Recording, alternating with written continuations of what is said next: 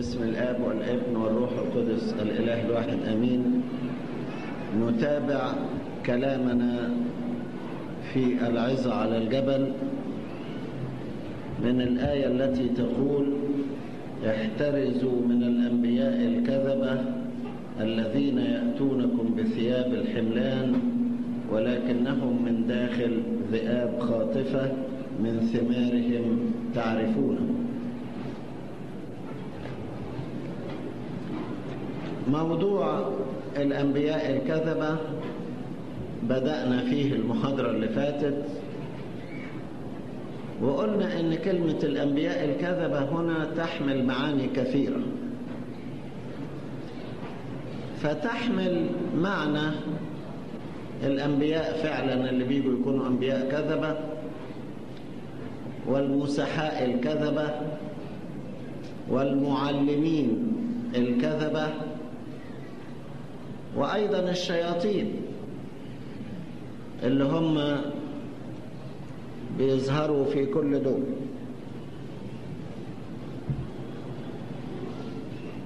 احترزوا. كلمة احترزوا يعني خليكوا حكماء وفاهمين ومحدش يضحك عليكم. في بعض الناس يفتكروا أن البساطة في المسيحية تعني أن الإنسان كشخص بسيط بيقبل أي حاجة. لكن السيد المسيح ما قالش كونوا بسطاء فقط قال كونوا بسطاء وحكماء. بسطاء كالحمام وحكماء كالحيات. والبعض ساعات بيفهم غلط. الآية اللي في كورنثوس الأولى 13 في الكلام عن المحبة اللي بتقول المحبة تصدق كل شيء. كلمة المحبة تصدق كل شيء مقصود بيها محبتك لله تخليك تصدق كل شيء يقوله ربنا. لكن المحبة للناس لازم تكون حكيمة. احترزوا من الناس يأتونكم أحيانا بثياب الحملان وهم ذئاب خاطفة لكن محبتك لله تصدق كل شيء. لما ربنا يقول لك يعني أبواب الجحيم لا تقوى عليكم صدق الكلام. لما يقول لا تهتموا بما تأكلون ولا تشربون صدق الكلام. لما يقول لك أنا معكم كل الأيام إلى انقضاء الدهر صدق الكلام ده. المحبة تصدق كل شيء من جهة محبتنا لله. وبالنسبة للناس ما نكونش شكاكين لكن نكون محترسين ومدققين. في فرق بين إنسان شكاك يشك في كل حاجة دي حاجة وحشة. وأيضا ضد المحبة حتى بالنسبة للناس. ولكن في إنسان ما عندوش مرض الشك لكن في نفس الوقت حريص وحكيم ويحترس. مش أي واحد يضحك عليه. زي الناس مثلا اللي يضحكوا عليهم أشخاص عاملين شركات وهمية لبيع الشقق لبيع الأراضي ويبيع الشقة لسبعة تمانية وياخدوا الفلوس ويمشي. ويقول ضحكوا علي ضحكوا عليك. وانت فين عينيك؟ فين عقلك؟ احترسوا من الناس. واحد يقول لك ده شخص كويس و... وأمين. عارف لما تيجي تشتري حتة أرض تعمل إيه؟ تفتش في الشهر العقاري هل هي مباعة هل هي مرهونة هل هي كذا كذا كذا؟ عقلك في مخك. دي معناها شكاك مش شكاك لكن الحرص كويس. الحرص إيه؟ كويس. احترزوا من الناس. خليكوا حكماء. ممكن تبقوا بسطاء لكن بساطة ممزوجة بالحكمة. الكتاب بيقول الحكيم عيناه في رأسه أما الجاهل فيسلك في الظلام.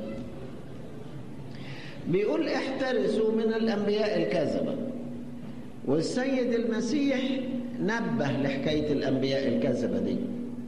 في متى 24 وهو بيتكلم على علامات نهاية الأزمنة قال انظروا لا يضلكم أحد.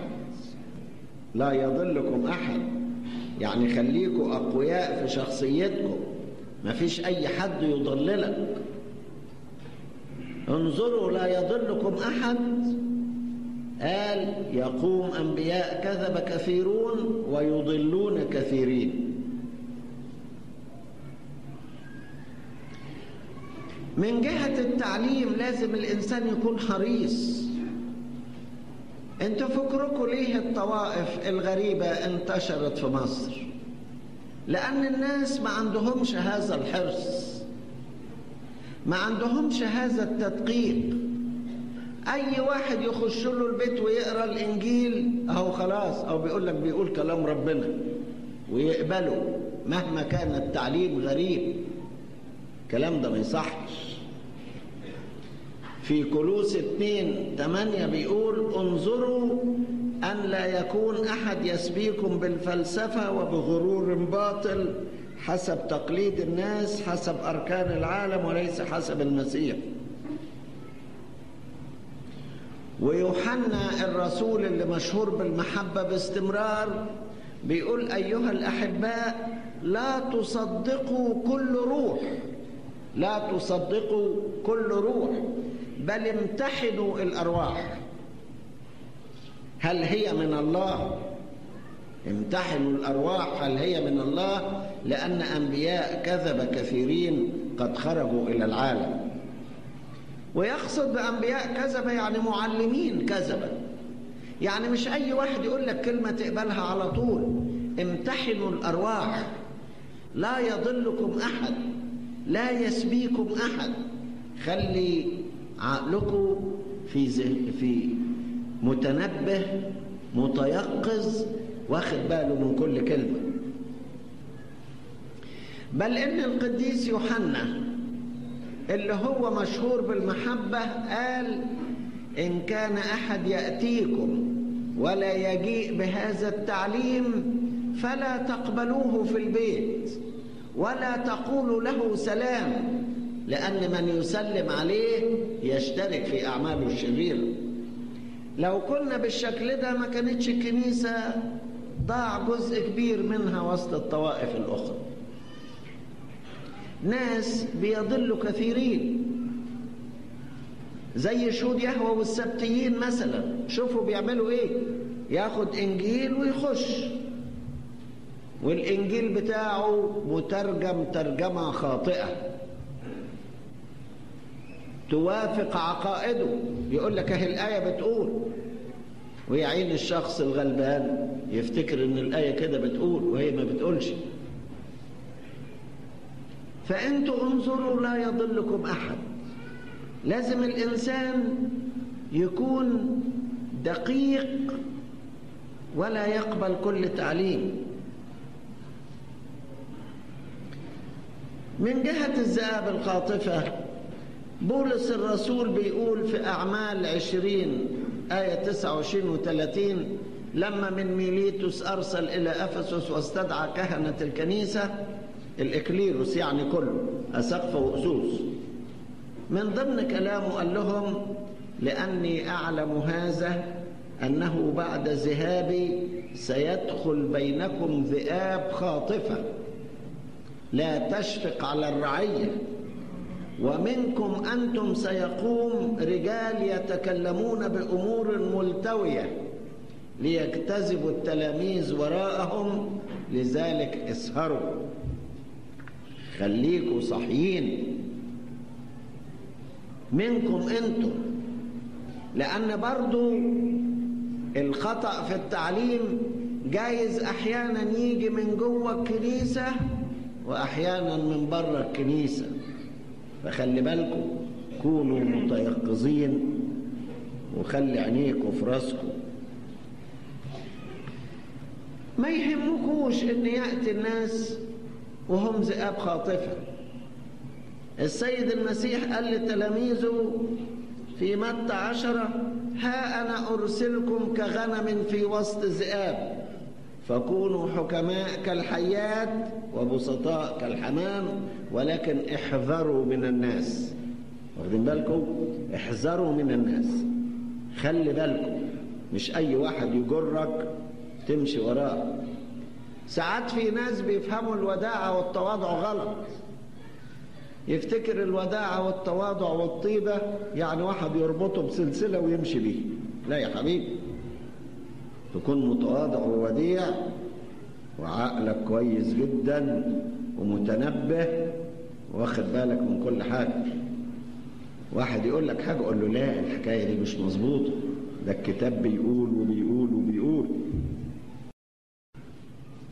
ما السيد المسيح أعطانا مثالا. أول واحد جه للعالم في ثياب الحملان وهو ذئاب خاطفة الشيطان. راح لحواء قال لها بقى معقول ربنا يحرمك من الثمرة الحلوة دي؟ معقول. راجل بيشفق عليه. ده انت لو كلت منها تبقوا زي الله تصيران مثل الله عارفين الخير والشر. ده أنا جاي انصحك. أنا بدور على منفعتك. أنا عايزك تبقي ترتفع وتكبري وتبقي زي الله. اوعي. اوعي تتحرمي من الشجرة الحلوة دي. ثياب الحملان بيدور على راحته. بنفس الأسلوب الشيطان جه للمسيح. بقى معقول تكون ابن الله ويسيبك جعان على الجبل؟ ده الوضع السليم. تقول للحجارة تصير خبز. توري صحيح بنوتك تثبت بنوتك وقوتك وحقك. حقوقك عند الله كابن. لكن تقعد جعان ده ده أنا أنا شخصيا ما ارضاهاش ليك. ما تنفعش. فبيأتوك بثياب الحملان بثوب الشفقة وهم ذئاب خاطفة من هذا النوع الناس بيقول لك صيام إيه يا عم؟ ده الصوم صوم القلب. الصوم صوم القلب. هو الصوم يعني العدس والفول المدمس. لا. الصوم هو صوم الفكر صوم القلب. الله إله قلوب تاكل ما تاكلش ما يهمش. إله قلوب. يلا قوم خد قوي نفسك كده وتأكد لو كلت تاخد صحة تمام تساعدك على الصلاة تساعدك على الجهاد تساعدك وربنا عايز يموت الجسد. ده بيقول لك يقيد جسده ويربيه. وآيات. ثياب الحملان ده راجل بيدور على مصلحتك. وبيقول لك أنا خايف عليك من الصوم أحسن تضيع صحتك. ويجي لك الشيطان في بدء الصوم ويلقي عليك محاضرات طبية في البروتينات والأحماض الأمينية الرئيسية والفرعية. و... وما يلزم جسمك من بروتين ومن كالسيوم ومن vitamins و minerals وشغلانة يلزمك حاجات كتير. ويقول لك اسمع يا أخ جسدك ده أمانة أمام الله. وديعة أنت لازم تحتفظ بيها. ولما تهلك جسدك يبقى بتقصر في هذه الوديعة اللي ربنا اداها يأتونكم بثياب الحملان وهم ذئاب خاطفة اللي بيجي لك يوري لك إنه بيحن عليك وبيقول لك ما تصومش. أو من أمثلة الذئاب الخاطفة وثياب الحملان. واحد يجي الامرأة يقول لها ده يحرموك من الكنيسة ليه في الفترة الشهرية بتاعتك؟ كلام ده هو اضطهاد للمرأة. ده أنت تثوري وتضجي على الكنيسة دي اللي بتعامل النساء معاملة وحشة. هو ربنا يهمه الجسد جسد إيه وبتاع إيه؟ ما دام روحك طيبة روح الكنيسة وخش. وما تتناوليش ليه؟ هيلخبط بقى. ثياب الحملان وهم إيه؟ ذئاب خاطفه بينما يجي الشخص التاني بتاع الباب الضيق قول لها لا يا بنتي. خليكي متواضعة واعرفي إن العذراء نفسها لما بلغت سن البلوغ أخرجوها من الهيكل فأنت مش أحسن من العذراء يقول لها كلمتين كده كويسين يفوقوها لنفسها لكن اللي يجي لك بثياب الحملان ويقول لك نصايح إيه لازمة الصوم؟ إيه لازمة الحرمان من الكنيسة في فترة معينة؟ طب والجسد ذنبه إيه؟ ما هي طبيعة الجسد كده. ده شغل ذئاب خاطفة خليكوا عاقلين وحكماء وما فيش حد يضحك عليكم من أمثلة هذا الكلام. أو الطريق الواسع اللي يقدمه ليك علشان تمشي فيه كنوع من الحنو والشفقة. يقول لك ده إحنا في حرية مجد أولاد الله. نحن لسنا تحت ناموس بل تحت النعمة إحنا نطوع أوامر ووصايا لتبقى شخص ناموسي يبقى أنت رجعت تبقى زي الناموسيين. ربنا حلك من الوصايا وحلك من الناموس. وأصبحت إيه؟ في الحرية. هو حرية مجد أولاد الله يعني تخطي. ده الإنسان الحر هو اللي تحرر بالخطية يبقى بيضحك عليك. ده كلام زي العسل وهو سم قاتل. يأتونكم بثياب الحملان. يحدثك عن الحرية وإن ما يبقاش في ناموس. و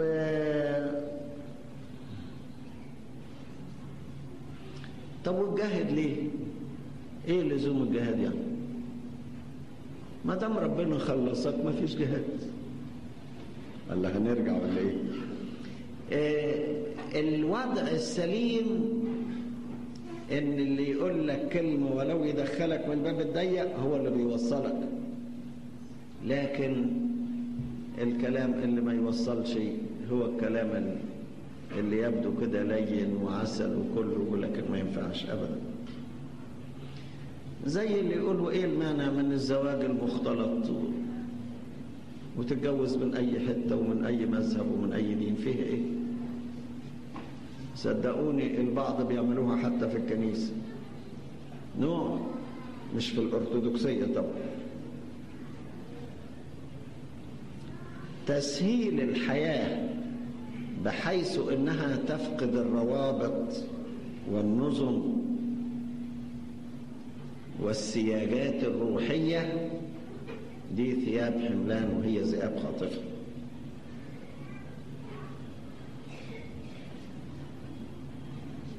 الوضع السليم إن الإنسان يكون مفتح عينيه. تعجبني آية قالها معلمنا القديس بطرس الرسول وباستمرار بحفظها لطلبة الكلية الإكليريكية ويا ريت كلكم تحفظوها. بيقول إيه؟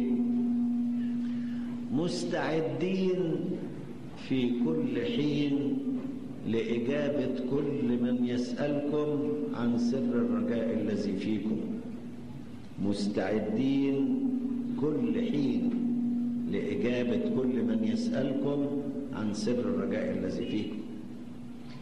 يجي لك إنسان ويجيب لك آية تقول له بس مكتوب أيضا وتجيب له بقية الآيات اللي على الموضوع. ما يقدرش عليه. احترزوا من الناس. يجيب لك آية علشان يدخلك في عقائده الخاصة. تقول له لا يا حبيبي الكتاب المقدس ليس آية هو كتاب نأخذه كله كله. مكتوب كذا مكتوب أيضا كذا وكذا وكذا. يعرف إن, هو مش قدك. قد الشخص القوي الشخصية. يقولوا الناس وهم ذئاب خاطفة يقدر عليهم برضه. القديس أغسطينوس قال كلمة لطيفة. قال المسيح بيقول ها أنا أرسلكم كحملان وسط ذئاب. طب وبعدين هل قدرت الذئاب على الحملان؟ ده ذئب واحد وسط الحملان يضيعهم. إيش حل لما يكونوا الحملان هم اللي وسط الذئاب وذئاب عديدة؟ قال ولكن الكنيسة استطاعت أن تحول الذئاب إلى حملان أدخلتهم في الإيمان. استطاعت أن تحول الذئاب إلى حملان أدخلتهم في الإيمان. فأصبحت الحملان مش خايفة.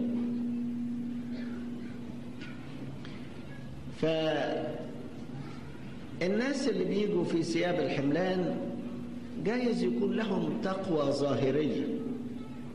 وطاخي الهرطوقي كان أتقى رهبان القسطنطينية كان أب رهبنة ورئيس دير وأب روحي لكل رهبان الدير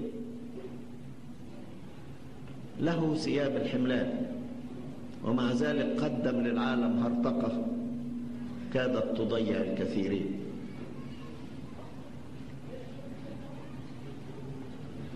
فجايز في تقوى ظاهرية تلاقي إنسان يجي لك صامت ما بيتكلمش غير كلمتين قليلين. زاهد لابس ملابس غلبانة خالص. وتفتكر تقول ما فيش هو ده بتاع الروح القدس. لا. خليك مدقق ولا تحكم حسب الظاهر.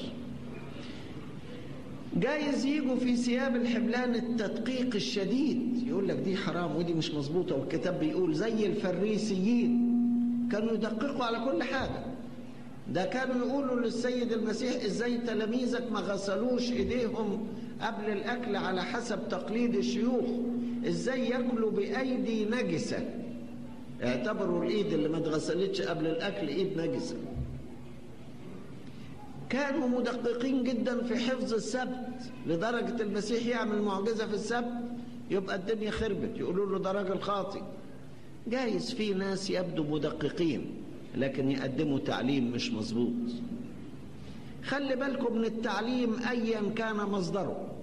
حتى لو جالك من شخص كبير حتى لو جالك من شخص يبدو مدقق حتى لو جالك التعليم من شخص يبدو تقي طبعا لا.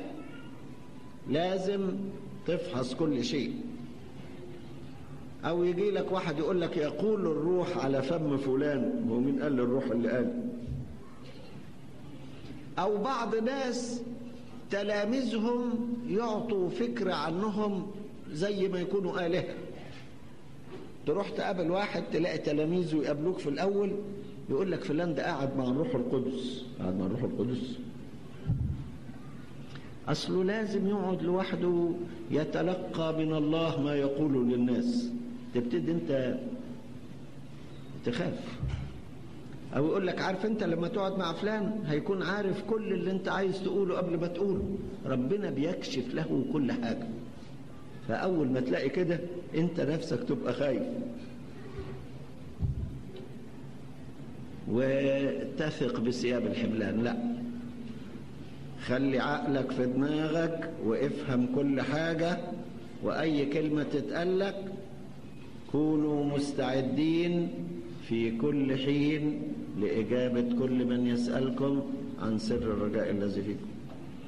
أو يقول لك الست الفلانية اللي في البيت الفلاني بيجي لها رسائل من الروح القدس.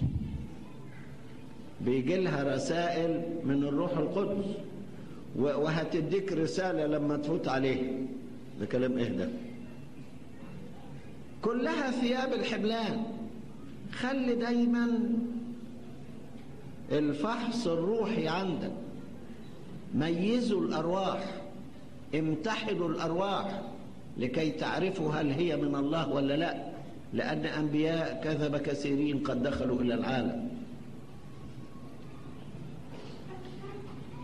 فلا تغتر بكل هذه المظاهر. أو ناس يقول لك البيت الفلاني بينزل منه زيت من صورة تبقى تكون نتيجة إيه؟ كل اللي يقوله لك تمشي وراه. تقول لي يا عم ده نزل زيت في بيتهم ده اللي بيقولوه ده من ربنا. لا امتحنوا الأرواح. ميزوا لأن أنبياء كذب كثيرين دخلوا إلى العالم. أو جايز يجوا بأنشطة كتيرة تلاقي مجموعة جت ونشاط كتير. أو جايز يجوا بخدمة للفقراء يدي الفقير من هنا ويدي الفقير من هنا ويكسبوا الناس بثياب الحملان هل في إنسان يبيع عقيدته أو إيمانه من أجل مساعدات مادية؟ لكن هذه بتحدث أحيانا. أو يجوا معاه الإنجيل يقول لك عايزين نسمع كلمة ربنا. عايزين نسمع إيه؟ كلمة ربنا. طب وانت يا أخي مين ائتمنك على إنك تقول كلمة ربنا؟ ويفتح الإنجيل ويقول لك أي حاجة. وفي ناس بسطة كثيرين. يقولوا لهم غلط نتكلم كلمة ربنا مش أحسن ما تقعدوا تمسكوا سيرة الناس. يلا بينا على الإنجيل. وانت مش عارف إيه اللي هيقوله ولا إيه تفسيره ولا إيه كلامه أو يستخدموا الآيات. وبرضه بيختاروا آيات معينة تثبت اللي عندهم.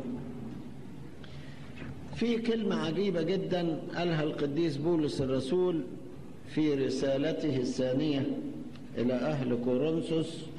كورنثوس الثانية إصحاح 11 آية 14 و15 شوف بيقول إيه؟ بيقول مثل هؤلاء رسل كذبة فعل ماكرون يغيرون شكلهم إلى شكل رسل المسيح ولا عجب لأن الشيطان نفسه يغير شكله إلى شبه ملاك نور. فليس عظيما إن كان خدامه أيضا يغيرون شكلهم كخدام للبر. ما هو الشيطان أحيانا يأتي في ثياب الحملان. يأتي في ثياب الحملان. بيقول لك يغير شكله بهيئة ملاك نور. فأنت تشوف قصادك ملاك تقول خلاص. وهو يكون شيطان.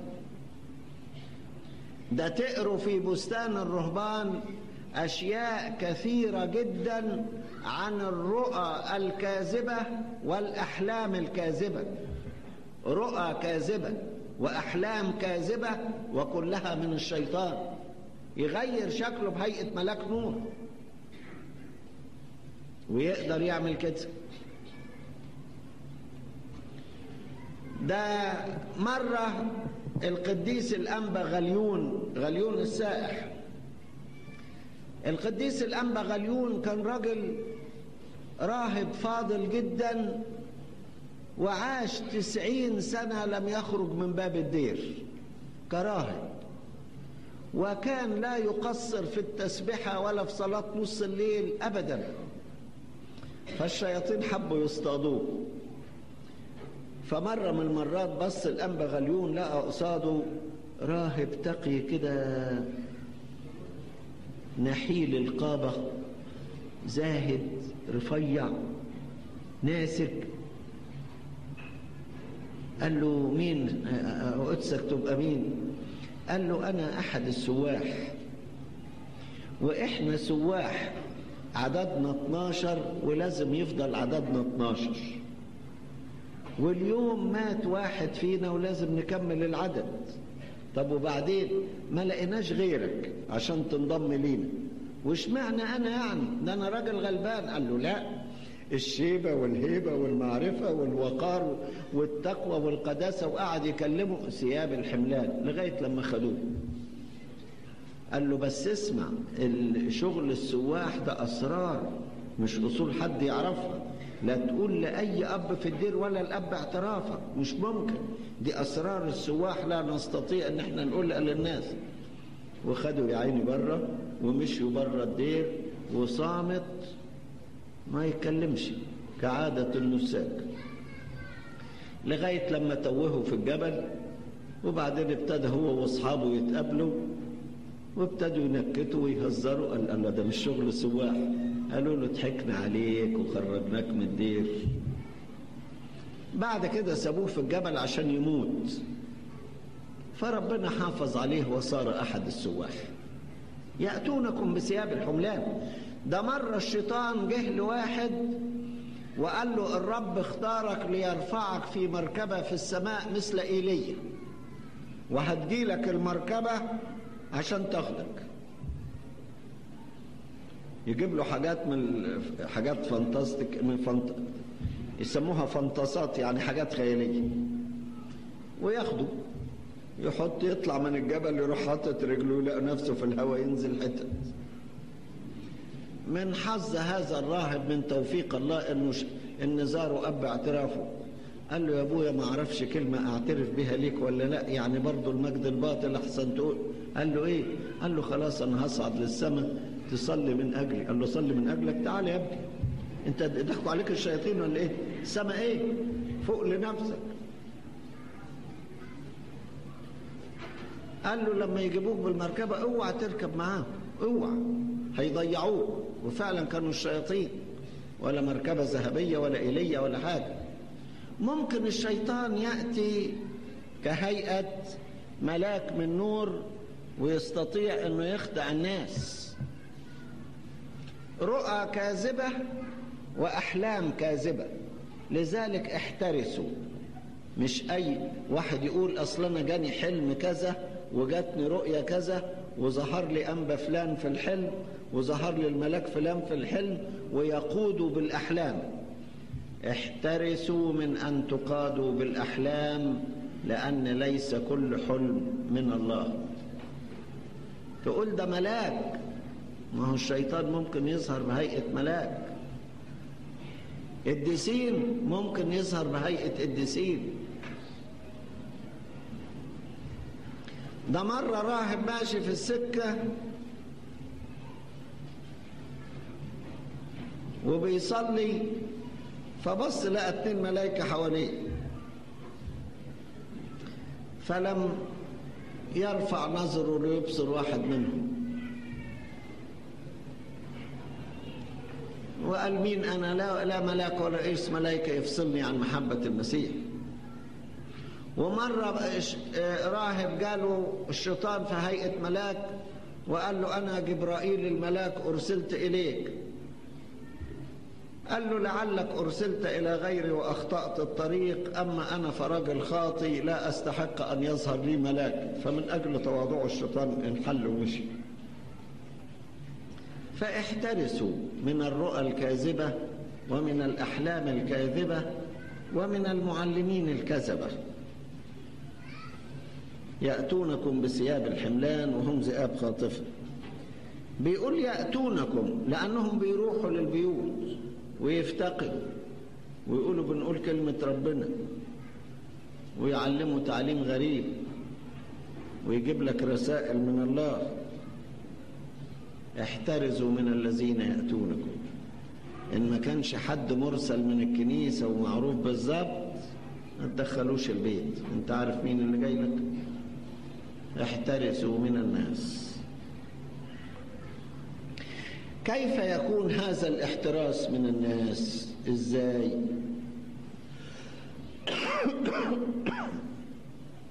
كيف؟ ممكن إنك أنت بالحكمة والإفراز في أشخاص عندهم حكمة بيستطيعوا يميزوا صوت الله من غيره ويميزوا الرؤية الصادقة من الرؤية الكاذبة ويميزوا المعلمين السليمين من المعلمين الكذبة بالحكمة والإفراز. بالقراءة الكثيرة بالدراسة كويس إنكم فترة الصيف أو بدأتوا يا ريت يكون لكم برنامج قوي في الدراسة والقراءة. املأ عقلك بالمعرفة وبالفهم وبالآيات. يا ريت كل عقيدة من العقائد تكون حافظ لها مجموعة من الآيات. مالية قلبك وعارف شواهدها. أي واحد يكلمك تطلع الآية على طول. في ناس أقوياء في المعرفة لو أي واحد يكلمه على طول يطلع الآية. حافظها. إحنا جاي وقت من الأوقات قالوا خليكوا في الروحيات والعقائد دي حاجات جافة وما بتعزيش.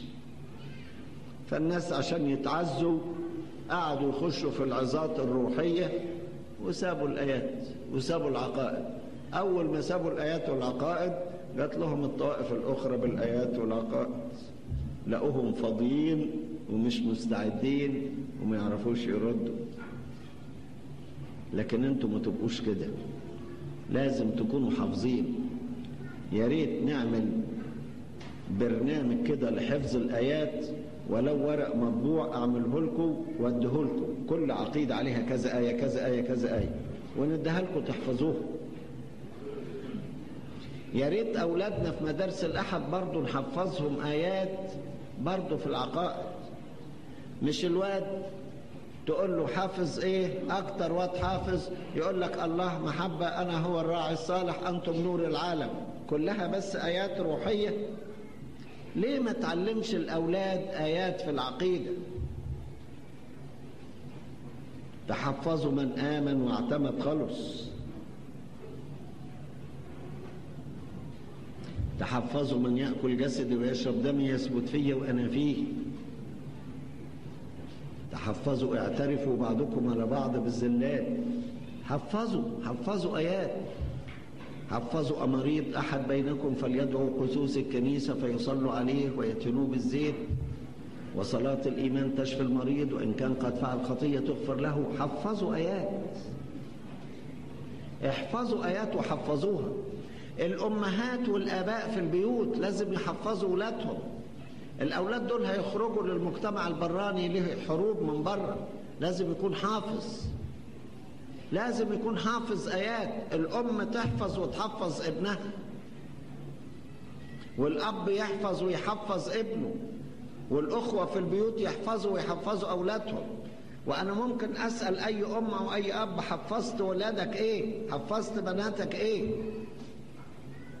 كونوا مستعدين في كل حين لإجابة كل من يسألكم عن سر الرجاء الذي فيكم. حصنوا أولادكم بالحفظ بالقراءة بالمعرفة. كل شوية والتاني وانتوا قاعدين في, البي في البيت أهو الحديث يتطرق إلى كلمة دينية تقولوها إلى عقيدة تقولوها إلى سيرة قديس تقولوه تبتدي تعرفوا أولادكم. لازم يكونوا كنز من المعارف. فاهمين كل حاجة. ما تطلعوش أولادكم ضعفة مش فاهمين. تقول ابني الحمد لله ولد كويس جدا بينجح كل سنة وما بيسقطش. طب بينجح في العلوم لكن في حياته الدينية هو ناجح ولا لا؟ حافظ ولا لا؟ يرد بالآيات ولا لا؟ ربنا هيسأل كل أم في السماء كده يشعلقها كده. اوعوا تخافوا عايز إذا كنتوا بتخافوا صلحوا نفسكم قبل أن تأتي الساعة. يقول لها تعالي ابنك عملت فيه إيه؟ حفظتيه إيه؟ تقول ده أنا وكلته وشربته والواد بقى كده يعني الحمد لله. يقول لها إيه اللي حفظتيه؟ والأب. يقول له شوف في سفر التثنية إصحاح ستة. بيقول إيه؟ لتكن هذه الكلمات التي أنا أوصيك بها اليوم على قلبك وقصها على أولادك وتكلم بها حين تجلس في بيتك وحين تمشي في الطريق وحين تنام وحين تقوم. قصها على أولادك وتكلم بها حين تجلس في بيتك. لما ربنا يمسك الأب ويقول له حفظت ابنك إيه؟ قصها على أولادك دي نفذت الآية دي ولا ما نفذتهاش؟ تكلمت بها في بيتك نفذت الآية دي ولا لا؟ تقول له ده أنا ابني اتخرج وراح كلية الطب يقول لك سيبك من الشغل ده. أنا بكلمك ابنك حفظ ولا ما حفظش من الآيات بتاعت الكتاب؟ أنا خايف تكونوا بتسمنوا ولادكم وتخرجوهم وتضمنوا حياتهم المادية وتفكرون إن هذا هو كل وظيفتكم في الحياة. لا. لازم تربوا أولادكم في مخافة ربنا وفي العقيدة وتحفظوهم. يا ريت أيضا يكون من ضمن الحاجات الشخص اللي مش عارف يستشير. عشان كده وجد معلمون في الكنيسة. أي حد يجي لك يجيب لك تعليم غريب شاور. قول إيه رأيكم في التعليم ده؟ ابحث ابحث اقرأ. لكن أي كلام يجي لك تمشي وراه ده حاجة تكسف. لازم تكون عارف وحافظ وفاهم. ومن هنا جاءت أهمية التعليم وأهمية الحفظ في الكنيسة. طبعا أنا كلمتكم عن الروحيات كتير وما زلت أكلمكم لكن لازم برضو أكلمكم عن التعليم الصحيح وعن الإيمان السليم وعن العقيدة السليمة وعلى أنكم تربوا أولادكم. التربية التي تضمن ليهم إنهم مش بس يبقوا أولاد كويسين في حياتهم الروحية إنما أيضا يكونوا أولاد ثابتين في العقيدة بتاعتهم. شوفوا هقول لكم مثل بسيط. في بلاد شيوعية لا يسمح فيها بالتعليم إطلاقا خالص ولا وعظ ولا تعليم ولا مدارس أحد. والمسيحيين بيبقوا مسيحيين أقوياء. إزاي؟ البيت. الأم في البيت بتعلم الواد. مفيش قسيس بيقدر يخش البيت لكن الأم داخلة طبيعي. تمسك ابنها وتعلمه كلام ربنا. يطلع الواد ثابت في إيمانه مع إن مفيش تعليم. مفيش تعليم ديني. الأب كل ما عنده من معلومات يسلمها لأولاده. يطلعوا أولاد تمام أقوياء. أنتوا طبعا لما بتروحوا تعترفوا بتقولوا كذبنا حلفنا شتمنا صمنا ما صمناش. هل فيكوا واحد وهو بيعترف بيعترف على تعليم أولاده وتربيتهم التربية العقيدية السليمة؟ هل فيكم حد بيعترف إنه لم لم يعطي الإيمان لأولاده كما ينبغي؟ أحسن مثل بقوله للناس باستمرار أم موسى النبي. يا دوب خدته من الأميرة الفرعونية ثلاث سنين أربع سنين على بال ما قدر يمشي على رجليه وسلمته ليه. ولكن سلمته مليان إيمان. الإيمان اللي قعد في قصر فرعون مليان بالعبادات المصرية القديمة ولا اهتز موسى. مش طلع بس شخص مؤمن طلع بطل من أبطال الإيمان. يا ريت كل واحد فيكم يبقى زي كل واحدة فيكم تبقى زي أم موسى اللي أنتم ما تعرفوش اسمها جايز اسمها يوكابت فتبقوا تحفظوه وتعملوا بالشكل ده. يطلعوا أولادكم وزي ما بقول للأمهات بقول, بقول للأم الطفل بتاعك بيقضي ساعة في مدارس الأحد في الأسبوع وبيقضي 167 ساعة معاكي. بتعملي له إيه في ال 167 ساعة؟ بس يا واد اسكت يا واد امشي يا واد. أرجو أنكم تربوا أولادكم في مخافة الله. نكتفي بكده اتفضلوا نصلي.